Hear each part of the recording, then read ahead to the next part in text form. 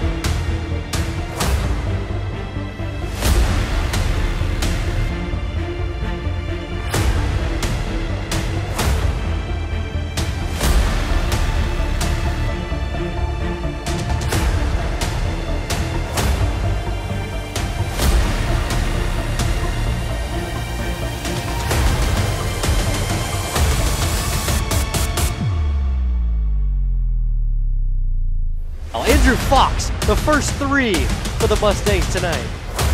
Gio drives in strong. I don't know how he passed that. Deshaun Ortiz knocks down a triple, and the Mustangs have a lead.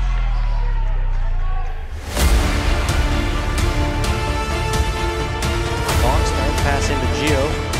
Into the paint. He spins to the glass. Nice move.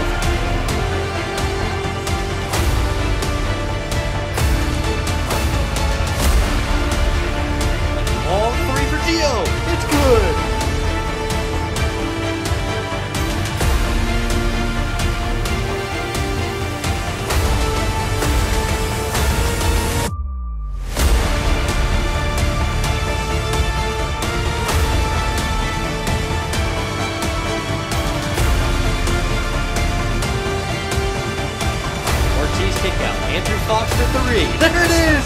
Hey, the Mustangs have gone on the road and have knocked off the Nolan Catholic Vikings